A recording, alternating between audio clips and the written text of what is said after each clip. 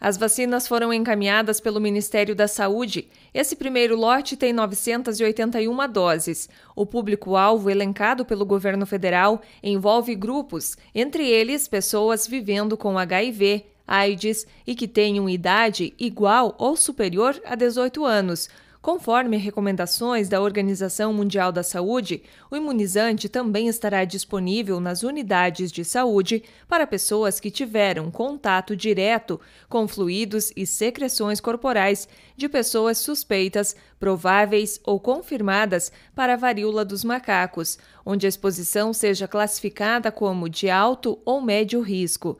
A vacinação acontecerá em duas etapas com a aplicação da primeira e segunda doses dentro de um intervalo de quatro semanas.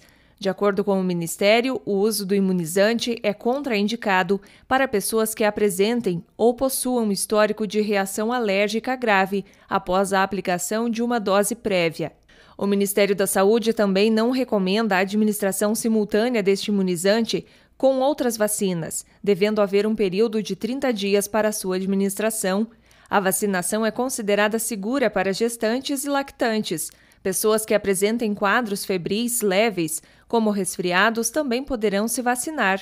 Já em casos de doenças febris agudas, é necessário aguardar a recuperação dos sintomas antes da vacinação. A varíola é uma doença viral e a transmissão entre humanos ocorre principalmente por meio de contato com lesões de pele e de pessoas infectadas. A infecção causa lesões que geralmente se desenvolvem pelo rosto e depois se espalham para outras partes do corpo.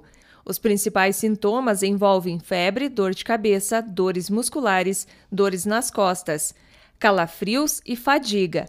Ao todo, o estado soma 301 casos positivos da doença, sendo 286 confirmações no público masculino e 15 resultados positivos em mulheres.